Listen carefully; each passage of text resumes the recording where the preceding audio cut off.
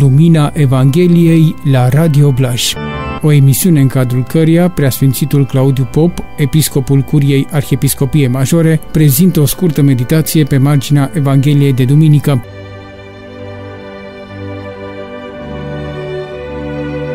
Se difuzează în fiecare sâmbătă de la ora 18 și 30 de minute și imediat după rugăciunea rozarului de la ora 20 și în reluare lunea și marțea după liturgia de dimineață.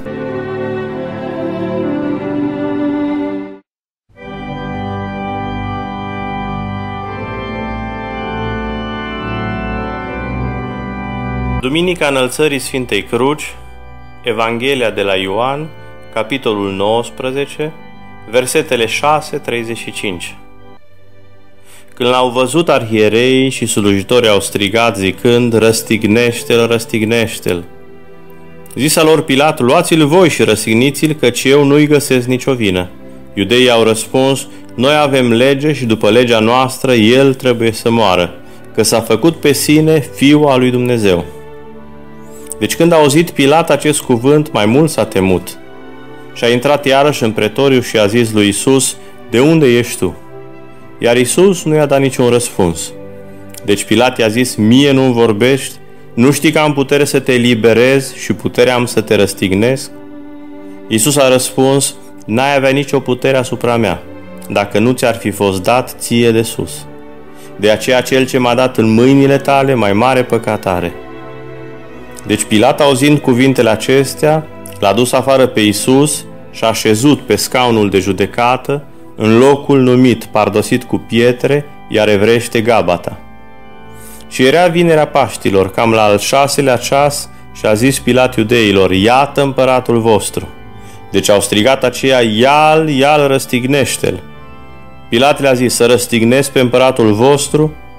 Arhierei au răspuns, nu avem împărat decât pe cezarul. Atunci l-a predat lor ca să fie răstignit și ei au luat pe Isus și l-au dus ca să fie răstignit. Și ducându-și crucea a ieșit la locul ce se cheamă al căpățânii, care vrește se zice Golgota. Acolo l-au răstignit și împreună cu el pe alți doi, de o parte și de alta, iar în mijloc pe Isus. Iar Pilat a scris și titlul și l-a pus deasupra crucii. Și era scris Isus, Nazarineanul, împăratul iudeilor. Deci mulți dintre iudei au citit acest titlu, căci locul unde a fost răstignit Isus era aproape de cetate. Și era scris evreiește, latinește și grecește. Și stăteau lângă crucea lui Isus mama lui, Maria lui Cleopa și Maria Magdalena. Deci Isus, văzând pe mama sa și pe ucenicul pe care îl iubea stând alături, a zis mamei sale, Femeie, iată fiul tău. Apoi a zis ucenicului, iată mama ta. Și din ceasul acela ucenicul a luat-o la sine. După aceea, știind Isus că toate s-au săvârșit acum, ca să se împlinească Scriptura a zis, mie sete. Deci iudeii, fiindcă era vineri, ca să nu rămână trupurile sâmbăta pe cruce, căci era mare ziua sâmbetei acelea, au rugat pe Pilat să le zdrobească fluierele picioarelor și să-i ridice. Deci au venit ostașii și au zdrobit fluierele celui din tâi și ale celuilalt, care era răstignit împreună cu el. Dar venind la Isus, dacă au văzut că deja murise, nu i-au zdrobit fluierele. Ci unul din ostași, cu sulița, a împuns coasta lui și îndată a ieșit sânge și apă. Și cel ce a văzut a mărturisit și mărturia lui adevărată și acela știe că spune adevărul ca și voi să credeți. Avem astăzi o minunată ocazie să medităm la nașterea tainică a Bisericii ca mireasa lui Hristos. Dacă facem o paralelă între Evanghelia ascultată și Cartea Facerii, găsim nenumărate analogii simbolice între felul în care Dumnezeu îl mântuiește pe Adam de singurătate, dăruindu-i-o pe Eva, și modul în care noua Evă, biserica, ia naștere prin patima Mântuitorului, devenind o familie pentru fiecare dintre noi. Peste Adam, Dumnezeu trimite un somn și acesta doarme la umbra pomilor raiului. La fel, noul Adam, Hristos, adoarme răstignit pe pomul raiului, crucea dătătoare de viață. Creatorul atinge coasta primului om pentru a da naștere Evei.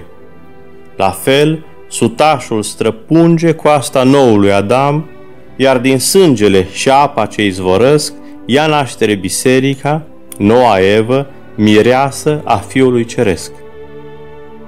Două izvoare de viață, pe de o parte apa, simbol și materia a botezului, cel din tâi sacrament, prin care cu toții intrăm în Biserica lui Hristos.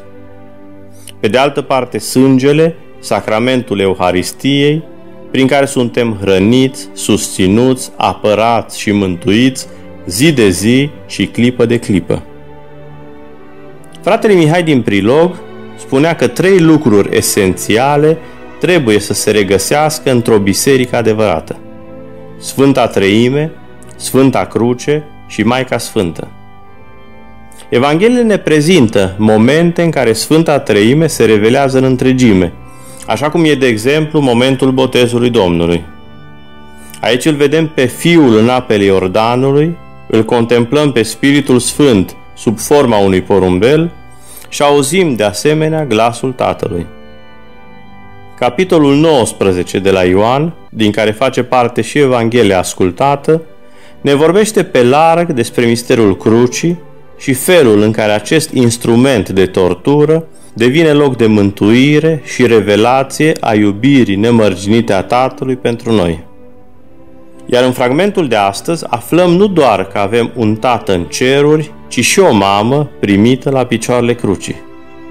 În momentul de maximă suferință, Isus se gândește tot la noi și transformă lacrimile Maicii Sfinte în tot atâția fi mântuiți.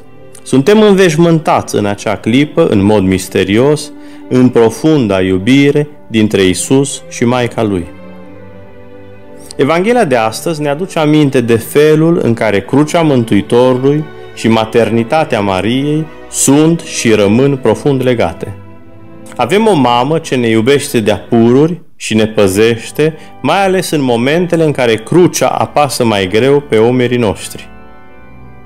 O mamă ce ne veghează ca pe tot atâția fii prea iubiți, în care îl vede în chip tainic pe cel ținut în brațe și hrănit și înfășat în peștera din Betleem.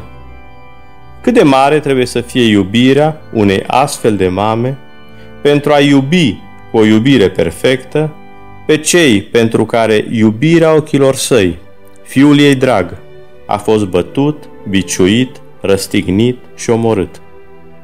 O astfel de inimă de mamă, tainic trandafir străpuns de sabia durerii, este garanția iubirii și a mântuirii noastre de către Fiul Ceresc. Nu lăsa măicuță să pierim pe cale, noi ce suntem fiii lacrimilor tale.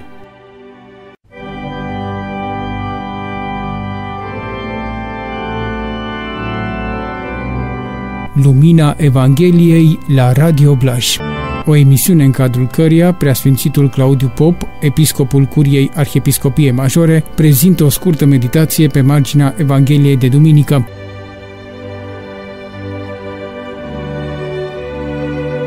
Se difuzează în fiecare sâmbătă de la ora 18 și 30 de minute și imediat după rugăciunea rozarului de la ora 20 și în reluare lunia și marțea după liturgia de dimineață.